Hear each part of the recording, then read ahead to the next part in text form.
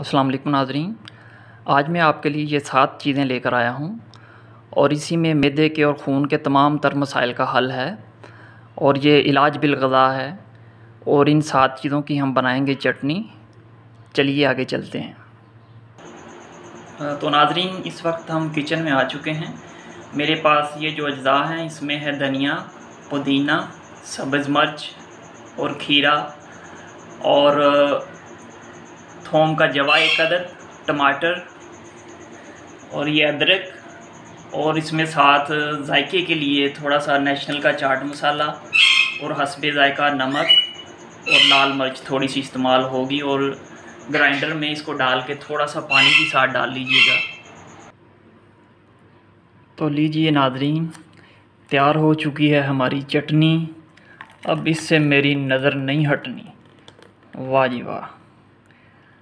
इसको नोश करें चावलों के साथ या रोटी के साथ। सीन सियाहत चैनल को सब्सक्राइब करना ना भूलिएगा। तब तक के लिए अल्लाह हाफिज़।